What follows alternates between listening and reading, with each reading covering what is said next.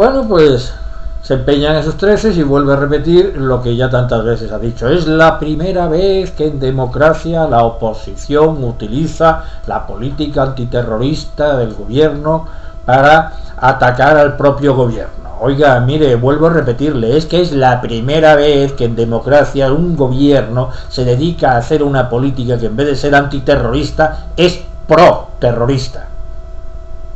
Coño, vamos a llamar ya las cosas por su nombre.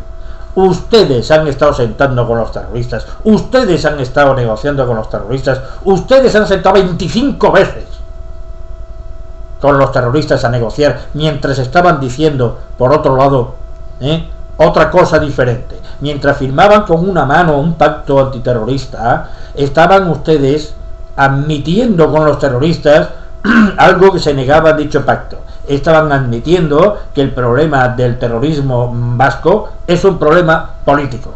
En ese cúmulo de reuniones que representantes eh, del Partido Socialista y de la izquierda Berzale mantuvieron eh, durante años, eh, se compartía plenamente la naturaleza política de este conflicto y que este conflicto necesitaba de soluciones políticas.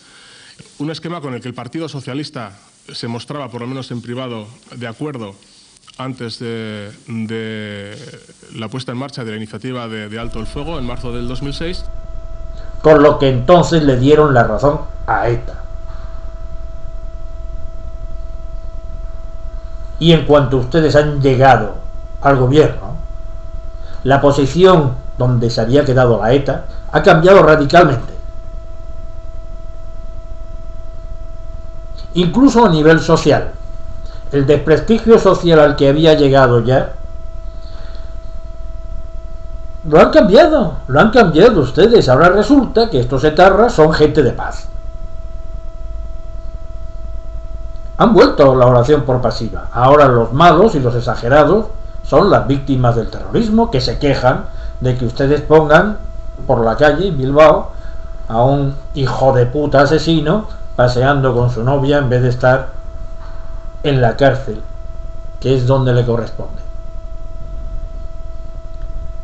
No hay por dónde pillarles. Es que no hay por dónde pillarles. Y mi indignación de hoy llega a tal extremo que prefiero no seguir hablando. Porque, ¿qué estarán pensando ahora estos familiares a quienes la ETA les ha matado y destrozado sus familias, e incluso los cuerpos de sus familiares, desperdigados por ahí. Muchos están vivos, pero tienen trozos de su cuerpo enterrados. ¿Qué estarán pensando estos? Ahora, del dolor que usted siente por su abuelo. Venga que ya vale.